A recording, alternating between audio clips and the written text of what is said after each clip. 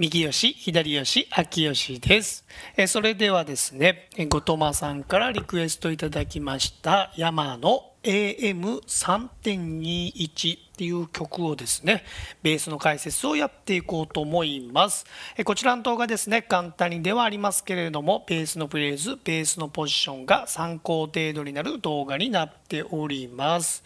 えそれではですね、最初の方からやっていきたいんですけれども、まあ、全体的にですねふわり的には細かくなっておりまして乾いた風と哀愁のところからベースが入るんですけれども歌歌まずここですよね。頭が9分になって8分音符の裏からですね。まあ、ここですね。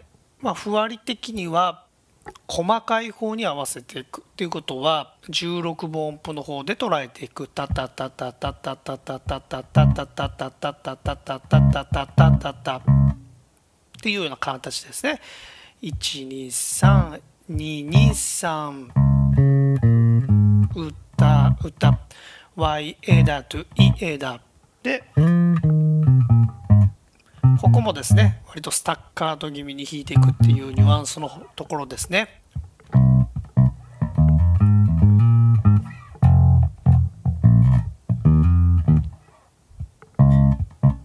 結構動きがありますから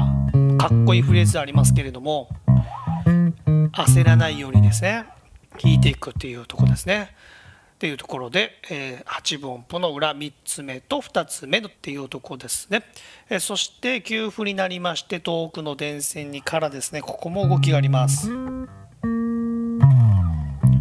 2スイエラフォイあフォイエラ。Y エラ、ドゥイエラ、スイエラ、フォイエラっていうような形でですね給付を感じていくっていうことですよね。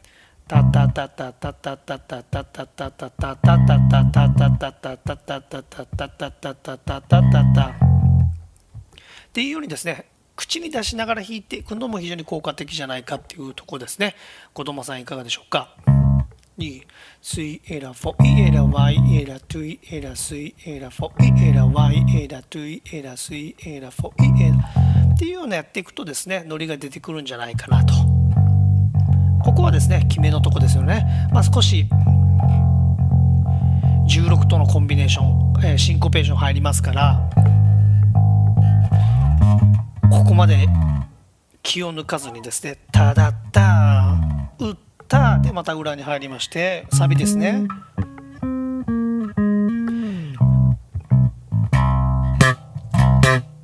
このスラップのところですね。スラップで弾いてみましたけどここだけ一瞬スラップをですね5のところに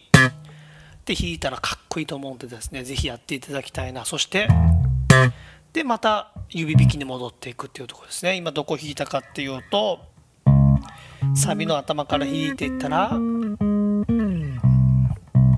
こいいですね。ただ歌たたただ弾けてなかったですね。ただうたたた。たたたたたたたた。あ、何気に難しい。たたたたたた。うん。いや、これはね、言いながらちょっと弾けなかったですね。はい。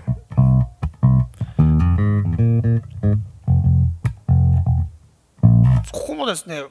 たた。タタタタタタ